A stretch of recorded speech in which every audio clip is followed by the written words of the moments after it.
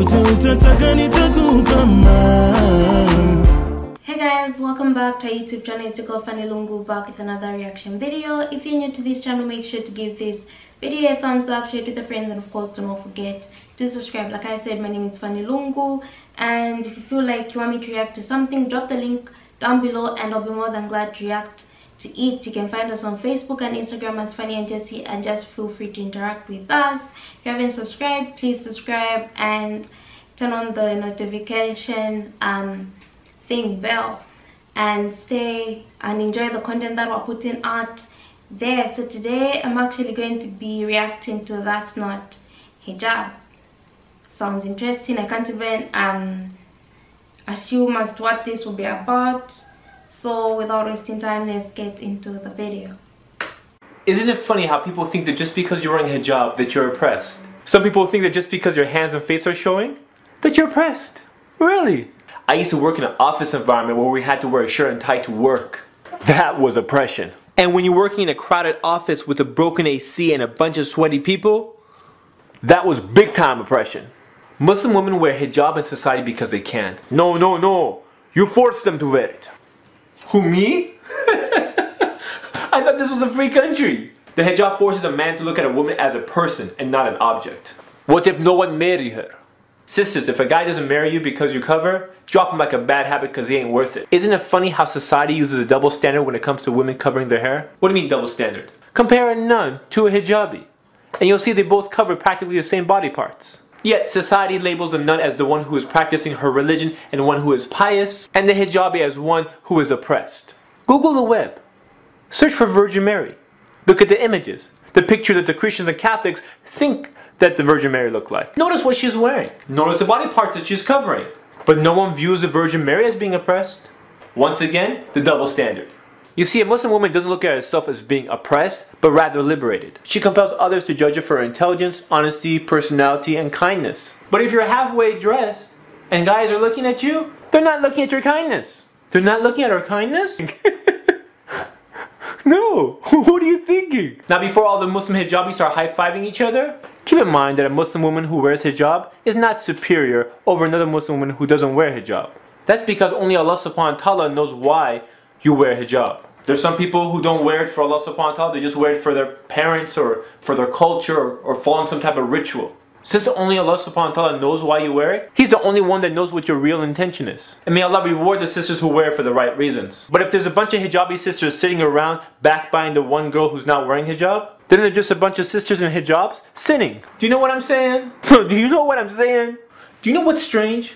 When you see a brand new Muslim convert wearing hijab properly, but then you see the Muslim girl who's grown up all her life being Muslim wearing hijab, wearing it improperly. What's up with that? This is a common sight in many Islamic events. Unfortunately, a lot of hijab attempts are not hijab. But for one reason or another, no one says anything. Maybe it's because it's a sensitive issue. Or maybe it's because they're worried about how they're gonna react. Relax, relax. Okay, you're taking this all wrong. All I'm trying to say is, where are you going?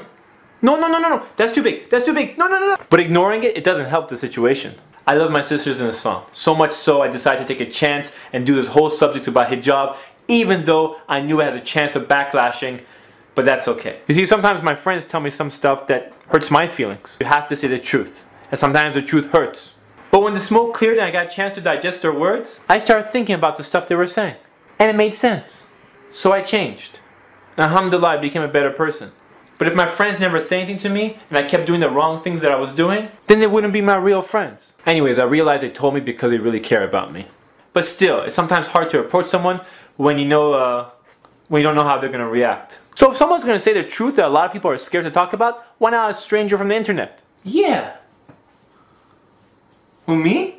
Yeah, you! 500,000 views! You talk about a bunch of controversial subjects in last season, people liked it, why not continue the trend? You're not trying to win a popularity contest, are you? No. So you're gonna do it? Yeah, I'll do it. I'll do it. Let's talk about hijab. Here are some of the many hijab attempts that you may see at your next Islamic conference. I have bangs hijab. Sisters, if your hair is covered except for your bangs, which have been conveniently styled and groomed, that's not hijab. The tug of war hijab. Have you ever seen those sisters who look like they're in a wrestling match with a hijab? Like the hijab is trying to escape? You know, it's like the same type of brothers who's never wore a dress shirt before, and when they do, and they're like tucking and untucking it, and tucking and untucking it. Anyways, that's not hijab.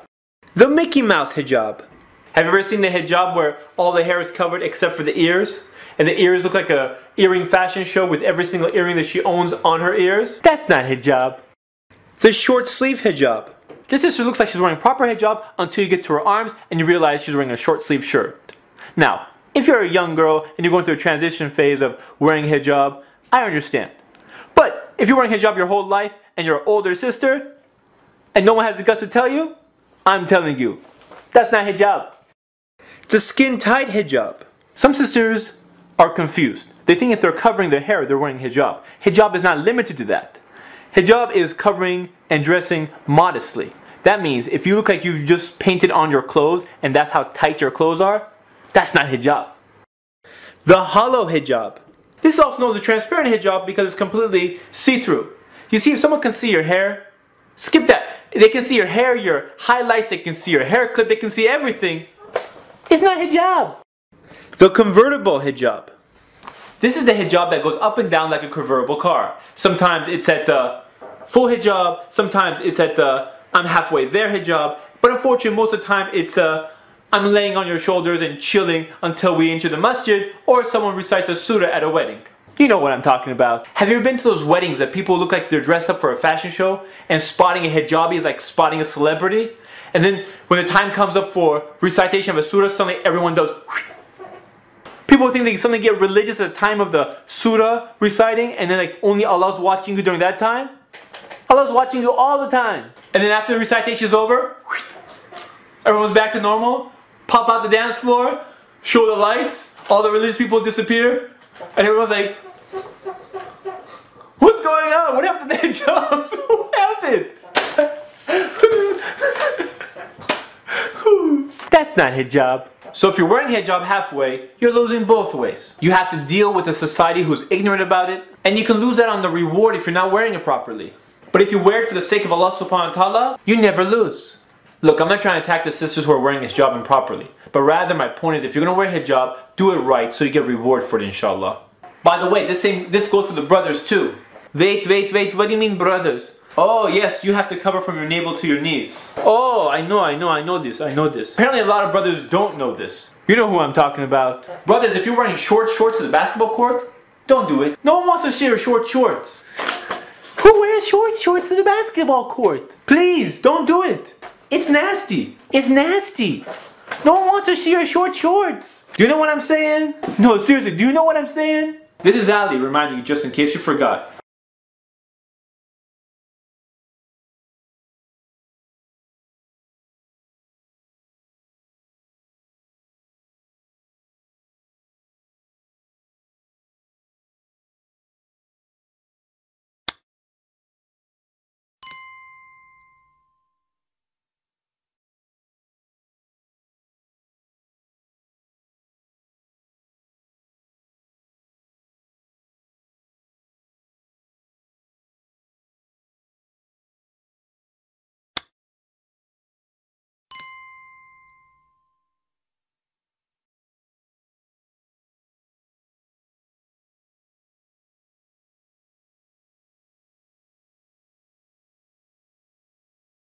What an interesting video. I mean i love the beginning of the video uh, when he was talking about how nuns would be looked as just as people uh, respecting their religion. Same goes for mary but when it comes to muslim women people are going to say it's oppression.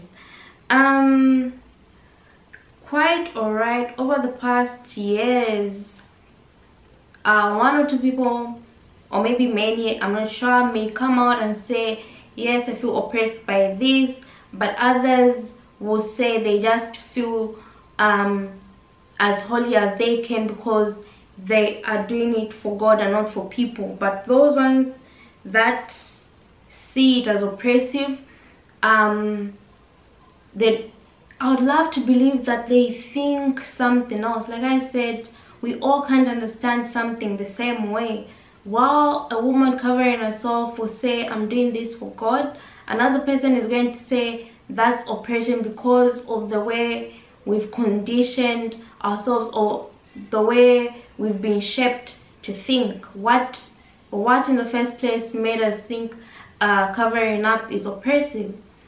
Um, and many people have been fed this thing of some sort of freedom.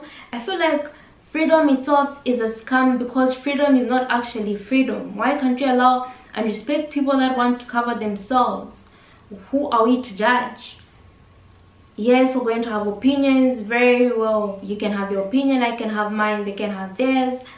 But at the end of the day just don't i don't feel like we should say anything that um puts down the other person or puts down what they actually think because at the end i feel like at the end of the day only god knows the right things. We're here to live in uh, all sorts of errors and trials and we're supposed to learn from all that. Otherwise let me know what you guys actually think about this video and the hijab and the styles people actually use to put on or cover themselves.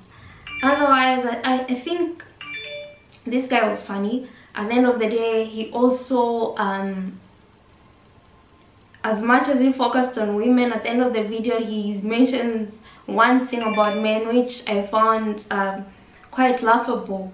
Very very interesting. So what do you guys think? Do you think men should talk about these things? Do you think women should explain themselves and the styles they choose whether it's the showing the ears whether it's the tight arms? Not tight arms. Yes tight arms. Whatever the case is whatever style you people go for or whatever style people you've seen people um go with out there. Let me know what you guys think. Otherwise make sure to give this video a thumbs up share it with your friends and of course do not forget to subscribe and i'll see you in my next reaction video